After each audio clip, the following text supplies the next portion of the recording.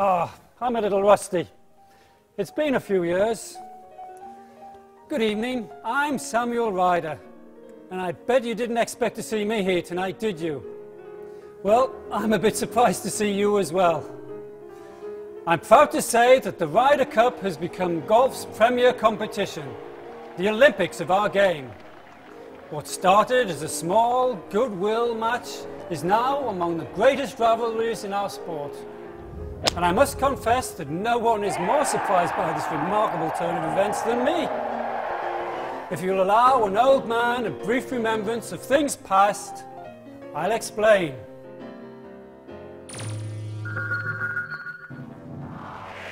I was born in England 150 years ago on the 24th of March 1858. I worked in my father's nursery business but made my fortune as an entrepreneur. My big idea was to sell packets of the most popular seeds for as little as a penny apiece. In 1907, my pastor invited me to play my first game of golf. I was 49 years old, but I was like a child in a candy emporium. I loved it. So I hired a local professional to teach me the game. And six days a week, rain or shine, he came to work with me. In my day, the golf professional did not enjoy the status he enjoys today. Wages were meagre, the hours long and hard. Fortunately, I was blessed with the means to do something about it. In 1925, I hired the best player in England, Abe Mitchell, as my private professional. I paid him a thousand pounds a year. The goal was for Abe to win the Open Championship. Unfortunately, Abe never hoisted the claret jug. But what matters in life is the journey, not the destination.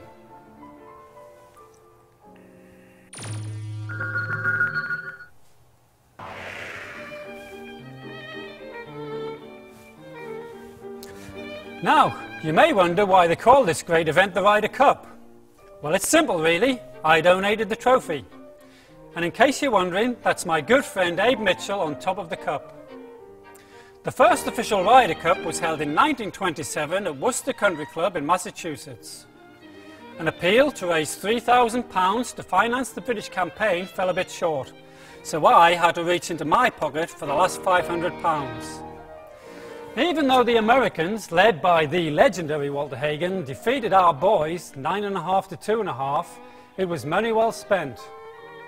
Two years later, the British team rallied for a 7-5 victory at the Moortown Golf Club in Leeds. I had the honour of presenting the cup to our captain George Duncan, who pummeled Hagen in singles by a margin of 10 and 8. With one victory apiece, a rivalry was launched but it would have to weather many a storm.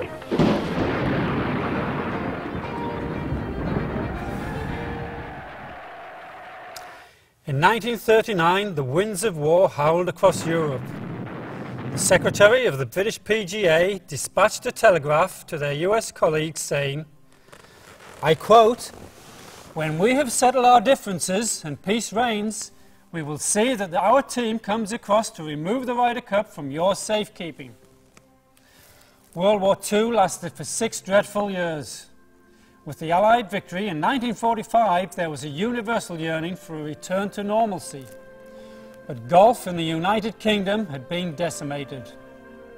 Fortunately for our great game, a fruit merchant from Portland, Oregon, Robert Hudson, was determined to see that the Ryder Cup returned to its rightful place on the sporting calendar. He picked up the tab for our boys to compete.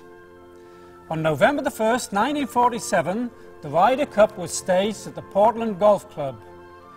Not surprisingly, those Yanks beat us again.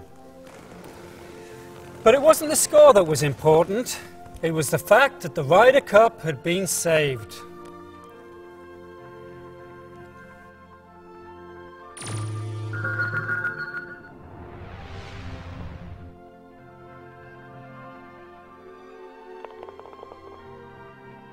That passed for a fist pump in my day. Over the next 30 years, the best golfers in the game took the stage in the Ryder Cup. Players like Hogan, Snead, Palmer, Nicklaus, Alliss, Rees, Jacklin and Gallacher. Players relished the competition, but the results were quite one-sided. From 1927 to 1977, the US won 18, lost 3 and tied 1. With the outcome seldom in doubt, the golfing public began to lose interest. Desperate times call for desperate measures, and it was none other than Jack Nicklaus who found the solution. Nicklaus suggested to Lord Derby that the British and Ireland side should be expanded to include players from continental Europe. It was a radical notion, but it would pay big dividends that few could foresee. Let history show that that was it. that the- 1979 saw the Europeans join the fray for the first time. The US again won handily by a score of 17 to 11. Four years later, Tony Jacklin was named captain of the European side and the Ryder Cup would never be the same. After suffering a heartbreaking loss at PGA National in 1983, Jacklin led the Europeans to victory in both 1985 and 1987. Over the next 20 years, the European side would win five times, compared to three wins for the Americans and one tie. A lopsided competition has evolved into a hotly contested rivalry. Now, people often ask me, Samuel, what's your favourite Ryder Cup memory? With 80 years of highlights to choose from, that's a very hard question to answer. I'll have to think about it. Okay, I've thought about it. For me, the greatest moment in Ryder Cup history was a four-foot putt. It was 1969 at Royal Birkdale. The cup would be decided by the final match, and what a pairing it was. Jack Nicklaus, the best player in the world, against Tony Jacklin, the reigning Open champion. At the 18th green, the match was tied and both players were on in regulation. With his teammates watching anxiously, Tony Jacklin's birdie putt came to rest within two feet of the cup. Now it was Nicklaus's turn. This was the kind of moment Jack lived for. But not only did he miss this birdie attempt, he charged it four feet past. If he missed and Jacklin made, the cup would reside in Britain for the first time in 12 long years. Jack took his familiar stance and willed his putt into the hole. As he picked up his ball, he also picked up Jacklin's marker. With Jack's concession, the match ended in a 16-16 tie, and the US retained the cup. Long after the score has been forgotten, golfers will tell the story of Jack's remarkable gesture.